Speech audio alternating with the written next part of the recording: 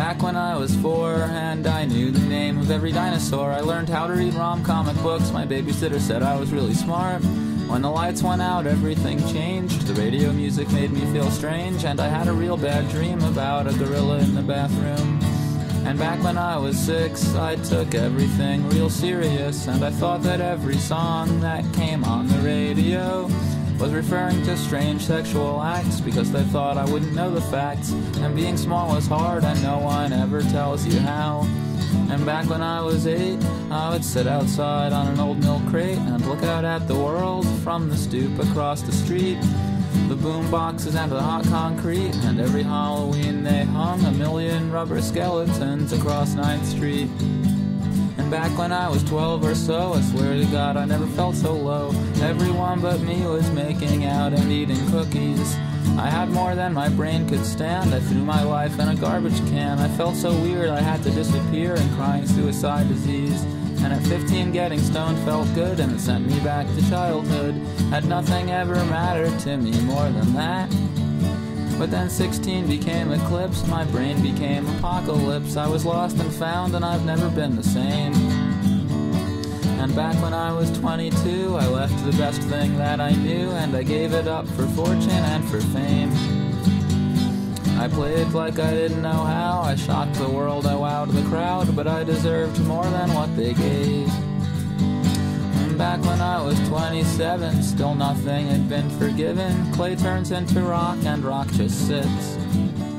So sitting on a crowded beach, I'd pretend I was a leech, and I'd stick to things here and there for a little bit. And back when I was 31, I knew I'd become what I'd become.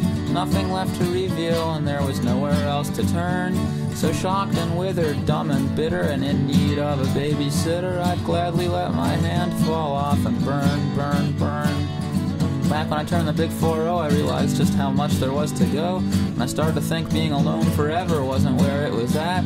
So I took my head out of the window and taught myself how to love real fast. I started talking about painting with a woman in the laundromat.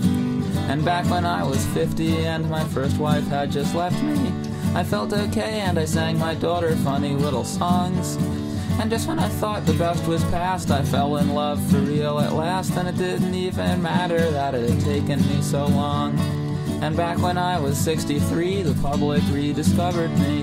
My comic books and albums had all become rare cult collector items. And both my parents were deceased, so I didn't see my records get re released. And I got a dog for the first time in my life. And back when I was 74, my dog died and I got two more. I still felt really good about my daughter and also about my girlfriend. And I would sing and draw a little bit, but mostly I would just wake up early and sit and hang out with the puppies and wish that I could live forever. And back when I was 87 and my grandson had just turned 11, my woman was dead and my dogs were getting pretty old. My body didn't work quite like it should, but overall things were pretty good. I was getting decent royalties from the reissued comic books and records. And back when I was 106, my only friend was one goldfish. Everyone I ever knew was dead and gone. And the goldfish never had a name and the neighbors thought I was insane. And I flushed it down the toilet when I saw it floating upside down.